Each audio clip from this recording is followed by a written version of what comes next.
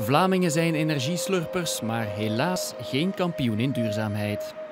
Vanmorgen op de radio gaf klimaatminister Joke Schouwvliegen het nog toe.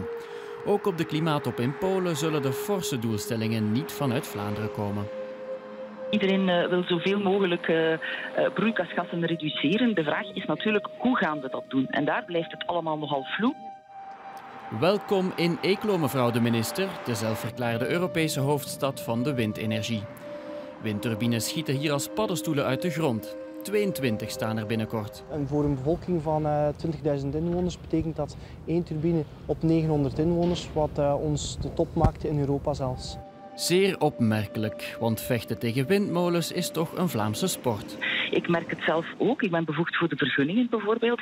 Elke week liggen er wel drie of vier dossiers op mijn bureau waar gemeenten, burgers tegen windmolens protesteren. Die windmolens niet willen in hun achtertuin. Je ziet hier die drie windmolens. Bij de vergunningsaanvragen hebben we daar drie bezwaarschriften voor binnengekregen.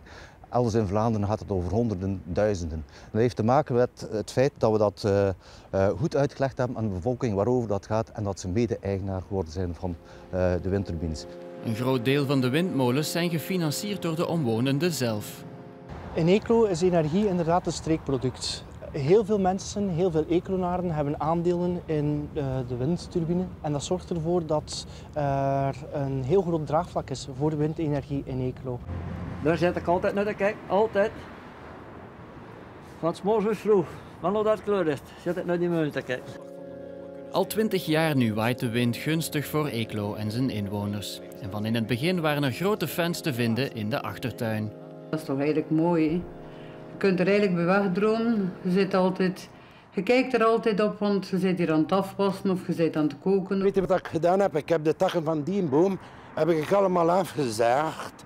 Want in de zomer zag ik niets meer van die molen. En dan moest ik mijn molen terug hebben. Dus heb ik die takken maar afgezaagd. En heb ik, ik heb nu winter en zomer gehad met een molen. Mensen die zien hier in Eeklo niet uh, constant de slagschaduw of de wieken die ronddraaien. Maar ze zien de kassa rinkelen.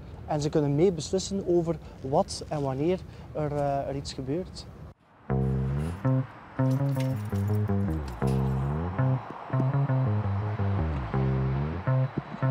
Het is ongeveer 100 meter hoogte, de mast.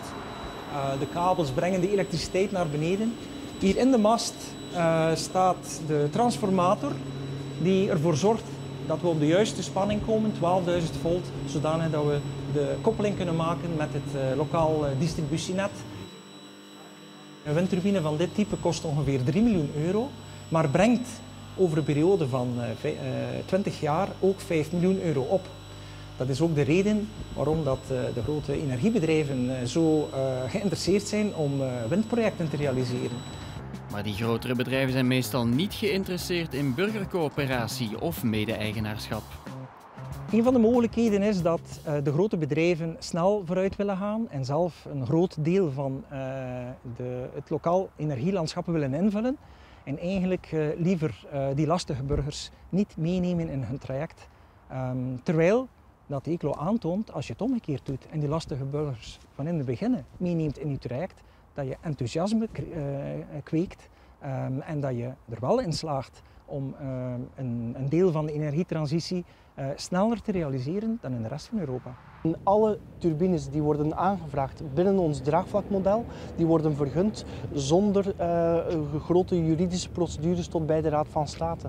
Dus uh, ook voor de ontwikkelaren zelf is dat de grootste garantie dat wat zij aanvragen ook daadwerkelijk zal vergund worden.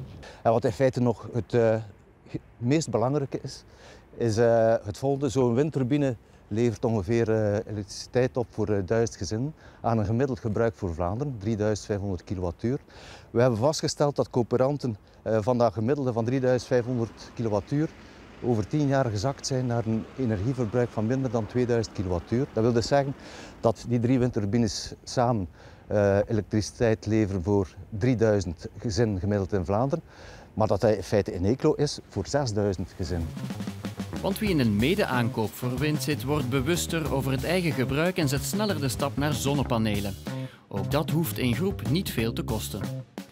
Als je een transitie wil maken en uh, je doet dat met een draagvlak samen met de bevolking, dan is dat volgens mij uh, de snelste manier om uh, die transitie te maken. Wat Eeklo doet kan in heel Vlaanderen, zeggen ze hier. De plannen staan op de website van de stad en iedereen is welkom voor een studiebezoek. Ik zou mevrouw Schouwvliegen heel duidelijk willen zeggen, kom naar Eeklo, neemt het Eeklo's draagvlakmodel voor duurzame energie over. En ik uh, garandeer u dat in gans Vlaanderen er een draagvlak, een democratisch draagvlak zal ontstaan voor windenergie.